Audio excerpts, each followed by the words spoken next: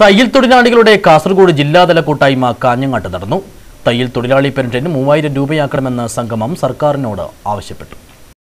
C I T U Kasaragod ജില്ലാ കമ്മിറ്റിയാണ് കാഞ്ഞങ്ങാട്ട് തയ്യൽ തൊഴിലാളികളുടെ ജില്ലാതല സംഗമം സംഘടിപ്പിച്ചത്.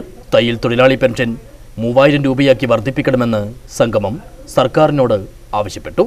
പി എൻ വിജയൻ നമ്പ്യാരുടെ അധ്യക്ഷതയിൽ നടന്ന ചടങ്ങിൽ സി ഐ ടി യു ജില്ലാ general secretary T K Rajan സംഗമം ഉദ്ഘാടനം ചെയ്തു.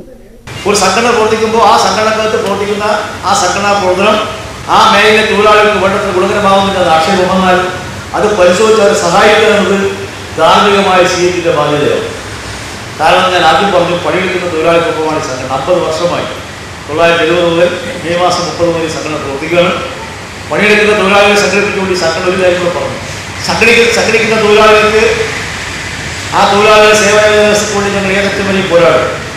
ആ തൊഴിലാളികളെ സംരക്ഷിക്കും. അവർക്ക് മെച്ചപ്പെട്ട കൂലി ആരോഗ്യത്തിന് വേണ്ടി പോരാട്ടം നടത്തും. C V Appu D V Ambadi P K Vijayan Sharada Mohan P V Krishnan M Gangadharan K N Prabhakaran K Ramani K V Balarajan Chandran Kokkal K Kunhikannan എന്നിവർ സംസാരിച്ചു. ജനുവരി എട്ടിന് നടക്കുന്ന ദേശീയ പണിമുടക്ക് വിജയിപ്പിക്കാനും സംഗമം ആഹ്വാനം ചെയ്തു. ചടങ്ങിൽ കാറ്റാടി കുമാരൻ സ്വാഗതവും പി വി പവനൻ നന്ദിയും പറഞ്ഞു.